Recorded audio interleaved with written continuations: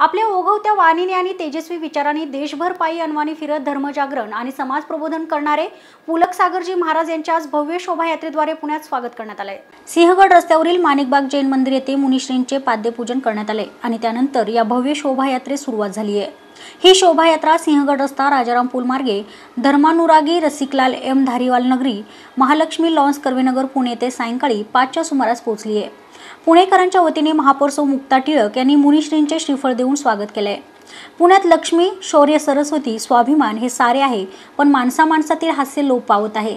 रस्ते रुंद झाले पण मने संकुचित झाली. इमारती उंच झाल्या माणसे खुजी झाली. माणसा माणसातील मानवता लोप पावत आहे ती जागृत करण्यासाठी मी आलेलो आहे असं मत मुनिश्री पुलक सागरजी यांनी यावेळी व्यक्त केलंय.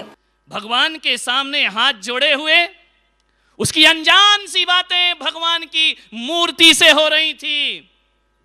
मैं पास में गया, मैंने उसका हाथ पकड़ा। मैंने कहा कि, बेटा, जरा ये तो बता कि तूने भगवान से क्या मांगा है? एक छोटा सा बच्चा, पाँच साल का बच्चा, भगवान से इस तरह बातें कर रहा था। मैंने कहा कि, बोल, तूने भगवान से क्या मांगा है?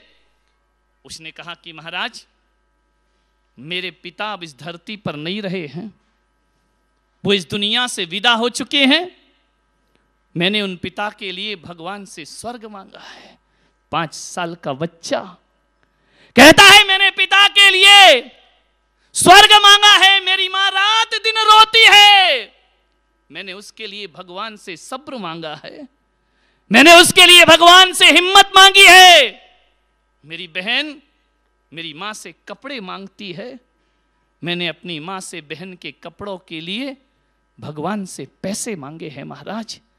या प्रसंगी मुनिश्री समवेत शोभायात्रेत सकल जैन वर्षायुग समितीच्या अध्यक्षा श्रीमती शोभा धारीवाल, कार्याध्यक्ष मिलिंद फडे, उपाध्यक्ष चकोर गांधी उपस्थित होते।